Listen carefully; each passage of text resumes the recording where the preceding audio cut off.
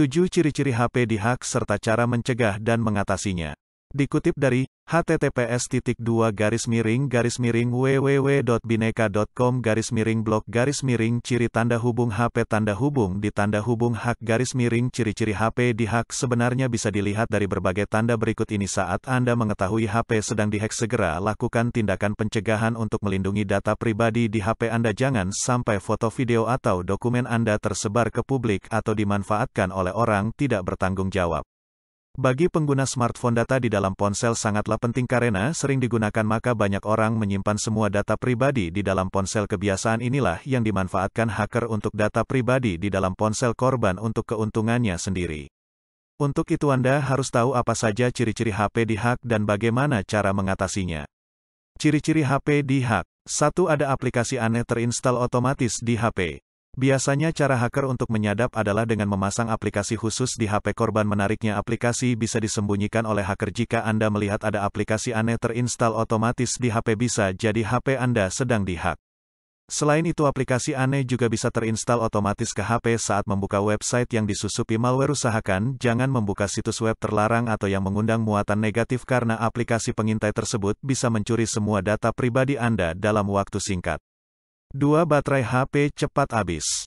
Ciri-ciri HP dihack yang kedua adalah baterai cepat habis hal ini disebabkan aplikasi yang diinstal hacker terus bekerja di belakang layar tanpa terlihat aplikasi tersebut harus terus berjalan di latar belakang untuk mengirim semua data dari HP Anda selain bikin baterai cepat habis HP juga cepat panas. Oleh karena itu sangat penting untuk mengetahui berapa lama biasanya baterai HP Anda bisa bertahan misalnya dengan pemakaian normal, termasuk streaming dan gaming, Baterai habis dalam 20 jam Anda bisa jadikan angka tersebut sebagai patokan jika tiba-tiba daya tahan baterai merosot tajam Anda seharusnya sudah mulai waspada. 3. Kuota internet boros. Lebih besar dari ciri HP dihack selanjutnya masih berhubungan dengan aplikasi aneh yang diinstal hacker.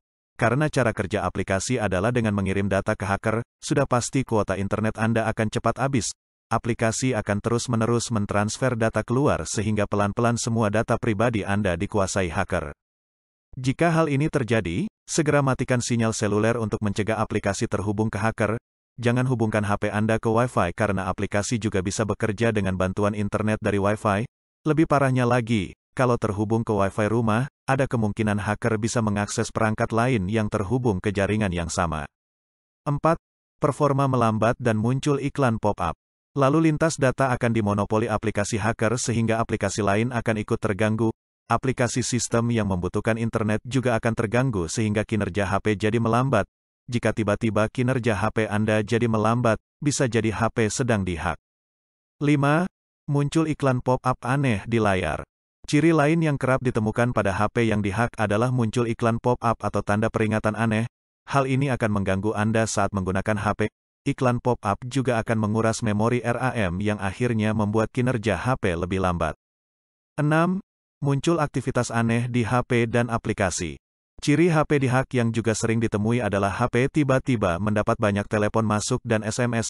Beberapa orang juga pernah mengalami aplikasi chat atau sosmednya tiba-tiba mengirim pesan aneh ke orang lain.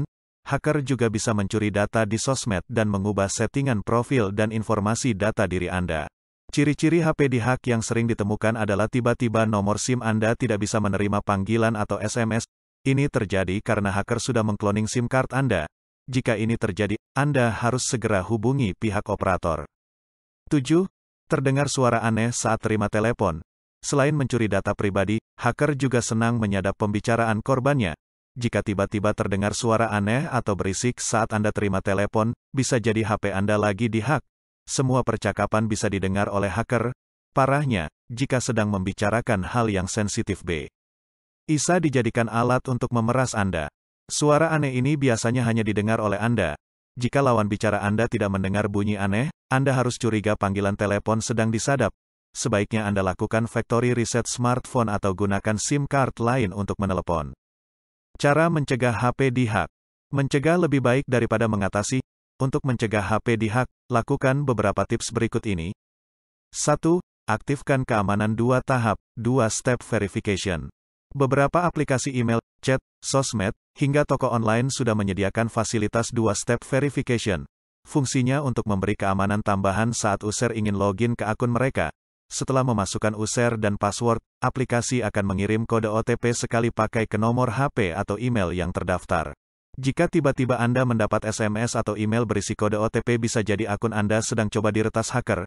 Segera lakukan penggantian password pada akun yang terancam diretas dan ganti password email untuk terima OTP agar lebih aman. 2. Matikan data jika tidak sedang digunakan. Aplikasi hacker berjalan di latar belakang Aplikasi ini terus mengirim data dari HP Anda ke hacker melalui internet. Jika Anda tidak sedang menggunakan HP segera matikan koneksi data dari seluler atau Wi-Fi. Setelah itu, cek di daftar aplikasi pada menu setting dan cek apakah ada aplikasi aneh yang berjalan di latar belakang. Metode ini paling efektif untuk memutus koneksi aplikasi ke hacker. 3. Jangan sembarangan install aplikasi. Aplikasi yang tersedia di Play Store sebenarnya tidak semua aman. Kita bahkan sering mendengar ada aplikasi yang di blacklist Google karena mengandung malware berbahaya. Aplikasi yang disusupi malware bisa mengakses semua data pribadi Anda yang tersimpan di HP. Bahkan malware juga bisa mengumpulkan data penting dari browser, email, sosmed, dan aplikasi chat. Untuk mencegah terkena malware jangan install aplikasi dari developer yang tidak jelas. Hindari juga install aplikasi, APK, dari website asing atau tanpa melalui Play Store. 4. Pasang aplikasi anti-malware. Anda bisa pasang aplikasi antivirus atau anti-malware untuk mencegah HP di H. CK, aplikasi ini bisa mendeteksi malware dan segera menghapusnya. Walaupun Android sudah punya sistem keamanan sendiri, akan lebih baik jika Anda menambahnya dengan aplikasi anti-malware khusus smartphone. Jika Anda butuh aplikasi anti-malware yang bagus, silahkan cek di sini. Cara mengatasi HP di hack. Jika HP Anda sudah terlanjur kena hack, berikut ini cara mengatasinya. 1. Ganti semua password.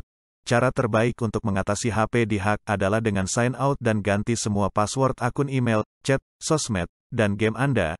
Jika Anda punya aplikasi banking, segera lakukan perubahan password dan PIN. Kemudian, jika Anda menyimpan informasi data kartu kredit di web e-commerce, segera hapus dan ganti password segera. Yang perlu diingat, jangan pakai password yang pernah digunakan sebelumnya. Hindari menggunakan nama sendiri atau tanggal lahir sebagai password. Kombinasikan password dengan angka, huruf kecil dan besar, dan karakter unik. 2. Matikan pengalihan panggilan. Cara mengatasi HP di hak selanjutnya adalah dengan mematikan pengalihan panggilan, call forwarding. Meski Anda tidak pernah mengalihkan panggilan, namun hacker pasti sudah mengalihkannya sehingga Anda tidak bisa terima telepon lagi. Untuk mengetahui apakah telepon Anda disadap, tekan kode USSD asteris tanda pagar 21 tanda pagar pada panggilan telepon. Setelah itu akan muncul apakah panggilan dan SMS Anda sedang dialihkan. Bila pengalihan aktif, bisa dipastikan telepon Anda sedang disadap. Untuk mematikan pengalihan panggilan bisa menekan kode USSD tanda pagar tanda pagar 02 tanda pagar. Setelah dinonaktifkan, segera lakukan perubahan password, atau hubungi operator seluler langganan Anda. 3. Putuskan koneksi HP ke laptop. Jika Anda sering menggunakan aplikasi pihak ketiga untuk menghubungkan HP ke laptop, segera matikan ketika HP kena hack. Tujuannya agar hacker tidak bisa lebih jauh mengakses perangkat lain yang terhubung dengan aplikasi di HP Anda. WhatsApp adalah aplikasi yang sering jadi sasaran hacker. Jika Anda menggunakan WhatsApp web di laptop, segera logout dan ganti password. 4. Lakukan factory reset. Setelah semua cara dicoba, langkah terakhir untuk mengatasi HP dihack adalah dengan melakukan factory reset. Fitur ini akan menghapus semua data, aplikasi, dan settingan di HP Anda, termasuk aplikasi yang diinstal oleh hacker juga akan terhapus. Cara hard reset di setiap merek HP berbeda-beda, namun fitur ini bisa Anda temukan di menu setting. Demikian info ciri-ciri HP dihack, cara mencegah HP dihack, dan cara mengatasi HP dihack. Semoga bisa membantu Anda agar lebih waspada dengan keamanan data di smartphone.